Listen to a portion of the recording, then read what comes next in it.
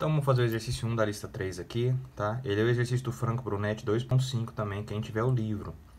Então o exercício lê o seguinte, ó, no manômetro da figura, que é esse aqui, o fluido A é a água, então esse A aqui é a água e o fluido B é o mercúrio. Qual é a pressão P1? Onde ele deu o gama do mercúrio, o gama desse fluido aqui 136 mil e o gama da água 10 mil. Né? Newton por metro cúbico. Então vamos lá. Primeira coisa é fazer o esboço, observa a gente tem aqui a pressão 1, que é a pressão nessa, nessa altura aqui, né? A pressão nesse ponto aqui é a pressão 1. Aí ele vai descer aqui uma certa alturinha, né? Que é fácil de encontrar, porque a altura total é 7,5, né? E aqui é 5.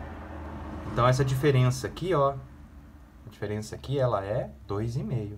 Então, ele vai descer 2,5 centímetros aqui. Interface de menor altitude. Eu vou ir para a direita, porque eu não considero essa parte aqui, ó, essa parte aqui comum, eu não considero, que é o mesmo fluido, né? Eu vou somar uma pressão e aqui eu vou diminuir uma pressão, então dá no mesmo que não considerar. Então eu vou sair desse ponto aqui, vou lá para o outro lado e aqui eu vou subir uma certa altura. Qual altura? Essa distância, né? Daqui até aqui. Qual a altura que é? É a altura de 15, que é o total, menos 5, que é essa pequenininha aqui.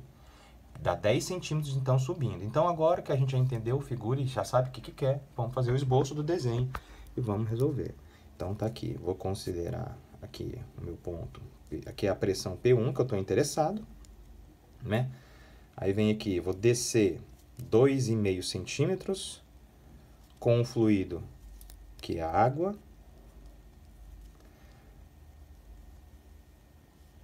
Vou subir, tá fora de escala, né?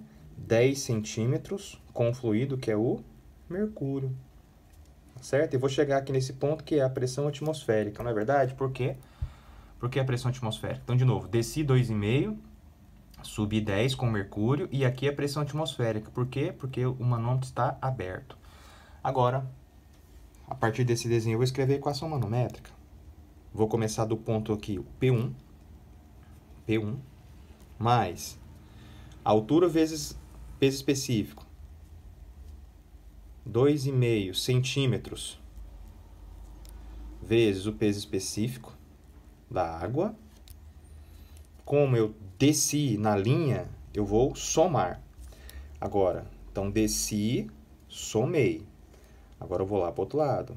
Como eu vou subir, eu vou diminuir. Vou diminuir pressão agora. Ó.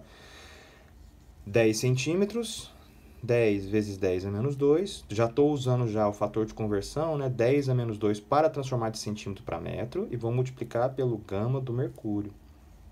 Gama do mercúrio. Agora, como eu cheguei no ponto de interesse, vou igualar então a pressão que tem lá, que no nosso caso é P0.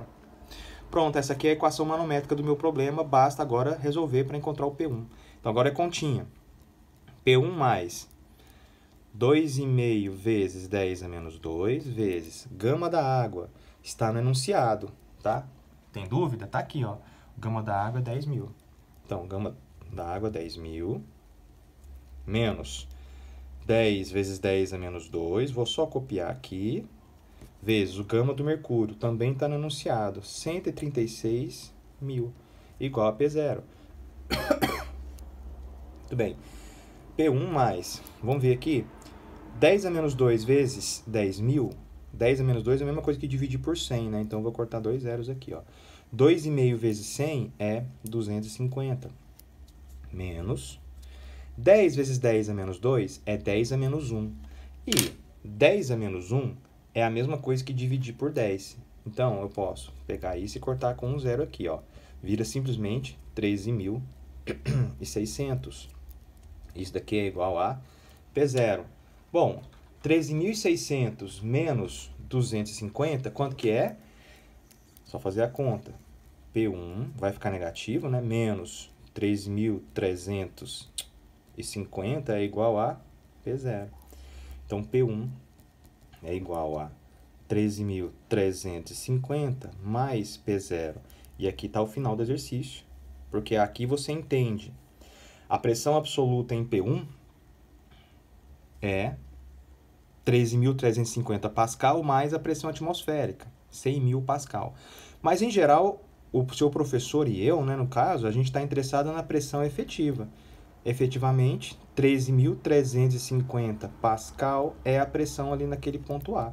A gente pode escrever isso aqui também como sendo 13,35 kPa. E essa aqui é a resolução do problema.